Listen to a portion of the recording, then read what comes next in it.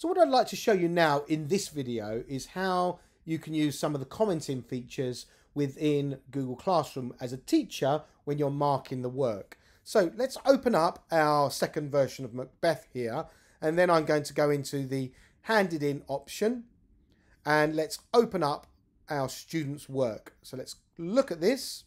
Now over here we've got our files. This is the only file. If you want to look at the originality reports, we looked at this in a previous video. You can click the link in the corner to get to that video. You can click on this, that will take you to the originality reports. If you want to go to rubrics, again, if you want to look at that video, click on the link in the corner in the card and then you can get to the video that will show you how to use rubrics. But what I'm interested in is the comment bank. So I'm going to click on this comment bank here. And if I want to make a comment on this particular piece of work, what I'm going to do is I'm just going to select a piece. It could be any piece. And then I'm just going to click the comment section here. So in order to comment, you have to select the piece that you want to comment on. And I'm just going to make a, a comment here. Sentence. And then I'm going to comment. Now, over here in the corner, you've got these three dots. If you click on these three dots, you can edit, delete, link to this comment, or you can add that comment to the comment bank.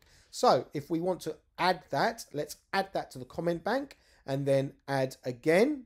We could change it there if we wanted to. So then you can see here, here are my comments. Now when I add a comment, so say for example, this is a good sentence as well. I can click on the comment. If I do the hashtag,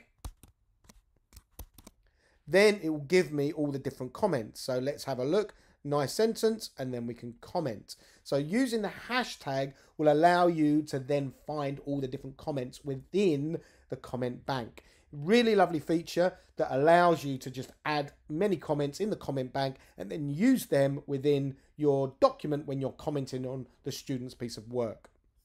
In addition to that, you can add your comments by clicking on the add button in the comment bank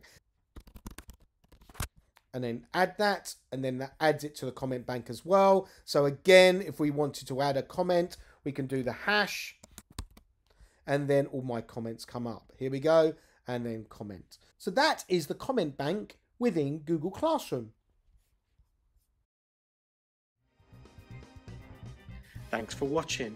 Please click the like button and please subscribe to this channel for more educational technology videos. Until next time, Goodbye.